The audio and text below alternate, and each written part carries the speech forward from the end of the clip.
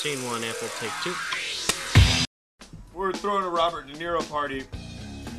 Yo, you want you want to say our De Niro impressions? Meet the fuck is De Niro.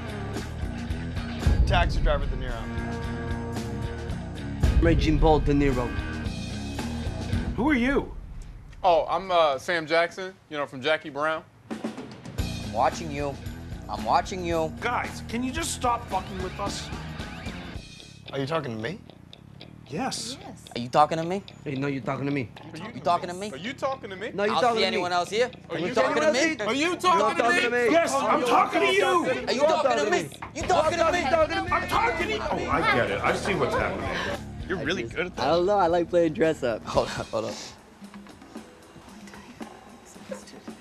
Fuck. Is your face getting tired? It hurts. So. you shouldn't have done it off camera like that. right. Woo! Let me see your face. I, I don't want to waste it right now.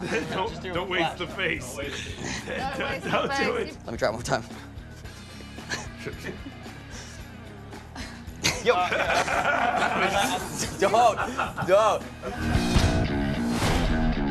These snakes on this motherfucking plane. That's the wrong speech. Hi, it's Lisa with a quick Hollywood update. Jaden Smith and Jackie Chan return for Karate Kid 2. The Crazies director Breck Eisner is behind the sequel to the 2010 reboot, which grossed over 340 million worldwide. Hmm, not bad. Next up, Ray Winstone takes over Gary Busey's role in the Point Break remake. The actor will portray Johnny Utah's veteran FBI partner in this remake of the 1991 action classic. That's it for today. Subscribe to keep up to date on all the latest trailers. Bye bye.